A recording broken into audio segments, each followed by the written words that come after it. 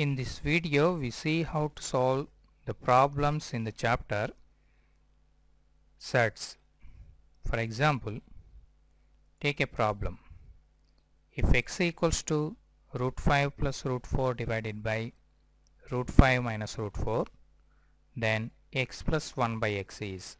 Now given the value of x we have to evaluate the sum of the terms x and 1 by x. Now we have a shortcut for this model. Suppose x is in the form root a plus root b divided by root a minus root b then the sum of the terms x and 1 by x is 2 into a plus b divided by a minus b.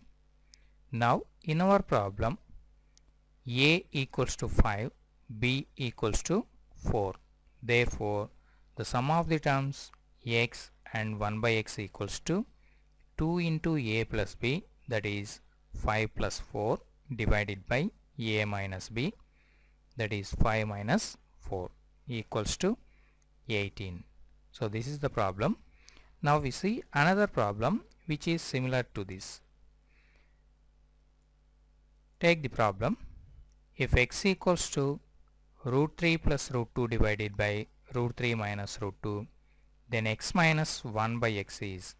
Now previous problem is the sum of the terms x and 1 by x.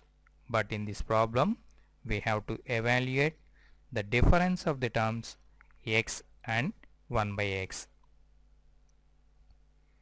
For this model also we have a shortcut. That is if x is in the form root a plus root b divided by root a minus root b.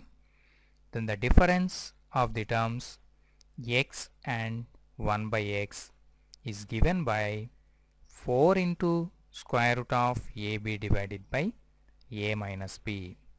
Now in our problem in place of a here we have 3 in place of b we have 2 therefore the difference of the terms x and 1 by x is 4 into square root of a into b that is 3 into 2 divided by a minus b that equals to 4 root 6.